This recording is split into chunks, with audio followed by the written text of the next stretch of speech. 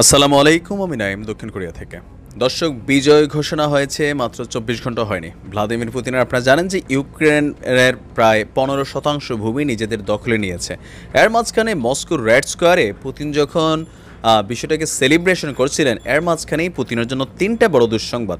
প্রথমত হচ্ছে, আপনারা জানেন যে আইনের হাত কত লম্বা, সেটা আমরা জানি না জানি বাট পুতিনের হাত কত লম্বা বা তার গোয়েন্দা বাহিনী কত দূর পর্যন্ত কাজ করে, সেটার একটা ঝামেলা পাকাই গেছে। ভ্লাদিমির পুতিন আপনার আমেরিকাতে নিজের কিছু গুপ্তচর রেখেছে। ওই রকম দুজন গুপ্তচরকে গতকালকে আমেরিকা আটক করছে, এমনকি সম্ভবত মাইক টেডও দিছে। আবার অপরদিকে বাইডেনের নতুন এক ঘোষণা আসতেছে। এই ঘোষণাকে কেন্দ্র করে সম্ভবত যে চারটা প্রদেশ পুতিন দখল করেছে, সেই প্রদেশ আপনি মানে আগলায়া রাখতে পারেন নাকি না পারেন, সেটাও একটা বিষয়। আর আন্তর্জাতিক বিশ্বেরও সিদ্ধান্ত চলে আসছে। তো আমরা একে একে দেখি। দর্শক, মার্কিন সামরিক বাহিনীর মেজর পদমর্যাদার চিকিৎসক জেমি লি হ্যানরি এবং তার স্ত্রী আনা গ্যাব্রিয়ালানের গ্যাব্রিলিয়ানের বিরুদ্ধে রুশ সরকারের কাছে মানে পুতিনের কাছে তথ্য ফাঁস করার অভিযোগ সামনে এসেছে। অভিযুক্ত ওই চিকিৎসকের স্ত্রীও বেসামরিক হাসপাতালের একজন চিকিৎসক। বৃহস্পতিবার আপনার তাদের সম্পর্কে প্রথম গণমাধ্যমে তথ্য আসে, এরপরেই তাদেরকে আপনার আটক করে মানে কি বলা হয় যে, আমেরিকার কেন্দ্রীয় গোয়েন্দা সংস্থা এফবিআই।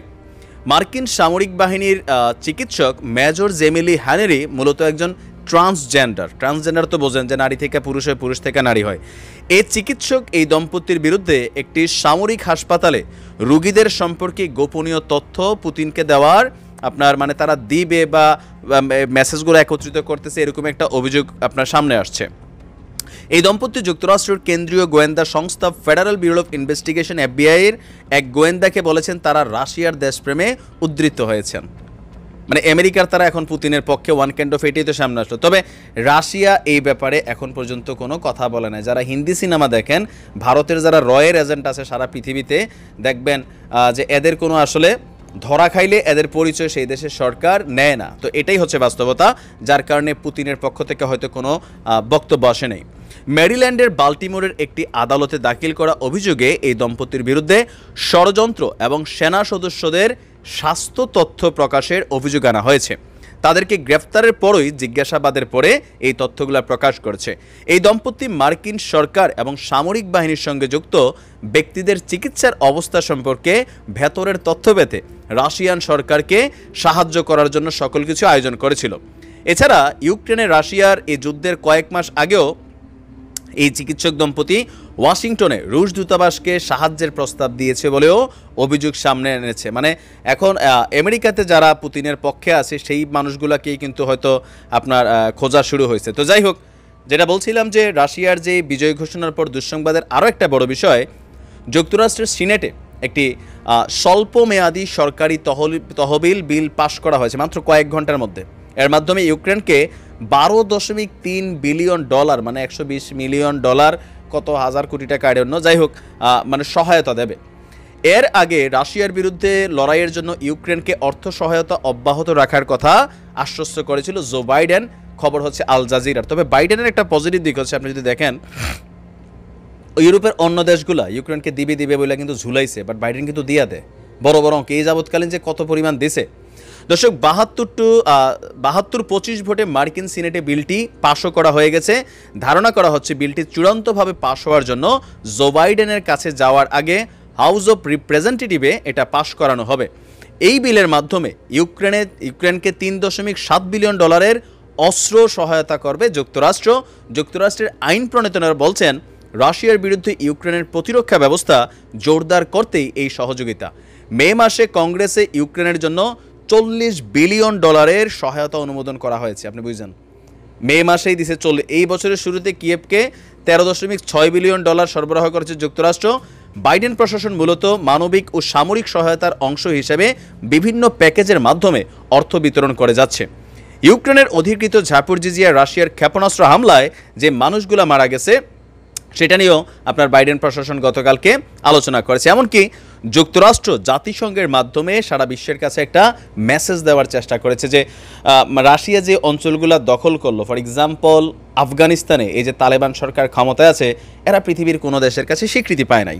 তো স্বীকৃতি না পাইলে হয় কি আপনার সাথে কোনো ধরনের অ্যাক্টিভিটিস পৃথিবীর কোনো দেশ চালাবে না। এখন রাশিয়া যেই জায়গাগুলোকে দখল করছে, সেটা সম্পর্কে জাতিসংঘের বক্তব্য চলে আসছে।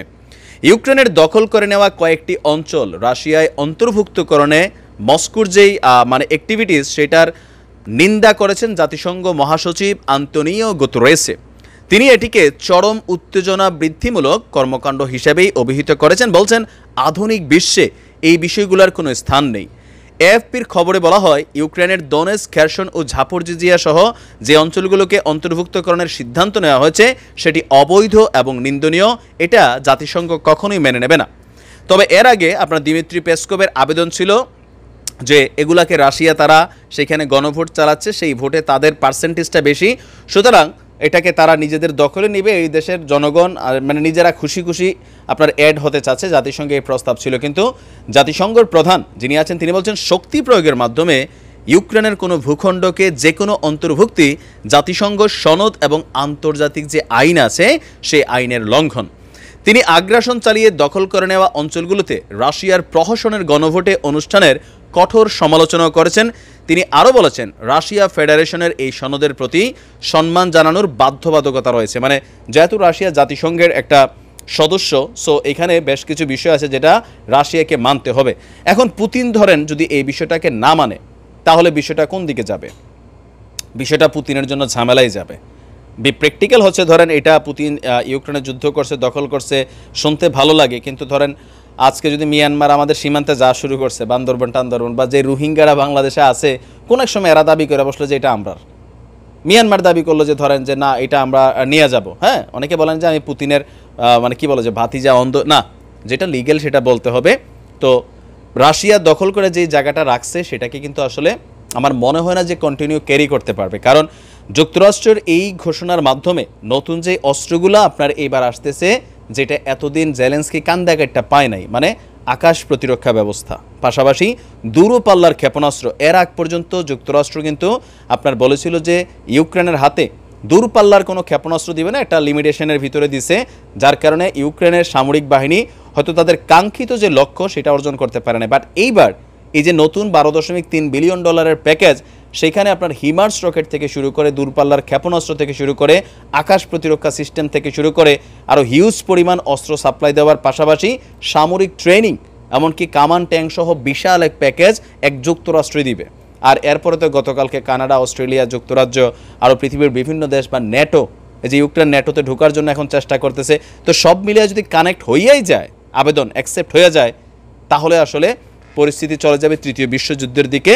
তবে এই যুদ্ধে পুতিনকে একা লড়তে হবে, কেননা চীনারা যুদ্ধে আসবে না। তো দেখা যাক, পুতিন কাকু দখল তো করছে, স্বাধীনতা অর্জনের চেয়ে রক্ষা করা কঠিন। কতটুকু রক্ষা করতে পারে? ভালো থাকুন, আসসালামু আলাইকুম।